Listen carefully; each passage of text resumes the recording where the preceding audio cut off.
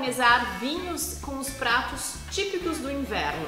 Nós viemos até a importadora Porto a Porto, aqui em Porto Alegre, conversar com o Vitor Hugo, que é o enólogo da importadora, que selecionou rótulos de até 60 reais que harmonizem com os pratos que são consumidos na estação mais fria do ano. E hoje ele selecionou dois rótulos, dois rótulos vindos de Portugal, né, Vitor? Dois portugueses, dois do Alentejo, que utiliza muito uvas próprias deles, né? Então nós temos aqui uh, o Carmim, o Monserrat uh, do Alentejo e o Lois do João Portugal Ramos. Então são duas grandes vinícolas, a Carmim é o maior complexo industrial do Alentejo e de Portugal, e João Portugal Ramos é um dos grandes nomes da atualidade de vinhos portugueses. Já foi consultor de várias marcas, tem o um projeto dele, tem um outro projeto em parceria com outro grande enólogo, que é o projeto do Oro, mas hoje aqui escolhemos dois vinhos dentro dessa faixa de preço, que quando a gente pensa em massas, em pratos não muito encorpados... São rótulos que harmonizam bem com massas. Harmonizam muito bem, muito bem, porque eles têm as características... Uh, que esse prato precisa. Vinhos leves, vinhos bastante aromáticos, frutados e tem um corpo médio, não tem aquele corpo muito uh, intenso para não deixar o prato muito abaixo do vinho. E são vinhos com uma graduação alcoólica alta, né? O que pede uh, nessa estação mais fria, né? No inverno. Mais frio, nós estamos numa época muito propícia para vinho tinto, né? Então um tem 14,5, outro 14% de álcool realmente são graduações alcoólicas altas, né? Quando a gente pensa no Alentejo, a gente entende por que, que eles conseguem chegar nessa uhum. graduação. Uma região mais quente, uma região com bastante sol e as uvas chegam na maturação plena delas.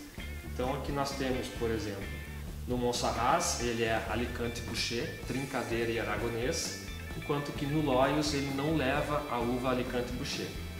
Dá para perceber uma, uma boa diferença, até porque Alicante Boucher Nesse caso do, do Monsaraz, ele tem 30% dessa uva. Uhum. E aqui a gente poderia harmonizar com quais tipos eh, de molhos, por exemplo? Pode ser tanto molhos à base de queijos, uhum. mas também uma massa, uma massa carbonara vai muito bem também, porque esse vinho tem uma, tanto um quanto o outro ah, embora seja região quente, consegue manter uma acidez um pouquinho alta, então para fazer essa harmonização, para limpar o paladar, são vinhos que harmonizam muito bem. Então, molhos brancos, molhos vermelhos, uma massa ao suco, né, também vai muito bem por causa da, da questão da acidez. É uma, uma, um leque muito grande de harmonizações que dá para fazer. E o consumidor então vai encontrar em lojas o Monserrat por torno de 55 reais? 55. E o Loyos até 60. Até 60. Até 60. É nessa faixa de preço. Ah, são vinhos que vale a pena se provar, né, porque eles são muito justos pelo uhum. preço que eles se encontram no mercado. E para quem gosta de, sair um pouquinho do Chile, Argentina, entrar no, na Europa. É uma, uma, outra opção, né? É uma outra opção e Portugal é uma excelente porta de entrada. Para quem está saindo daqui, de repente vai direto para a França, estranha um pouquinho fica a sugestão para esses vinhos portugueses. Esse aqui é o Loyos? Esse é o Loyos, uhum. brinde. Voltamos com outros vídeos com mais dicas de vinhos de até 60 reais que vão te ajudar a harmonizar os pratos para a estação mais fria do ano. Até lá!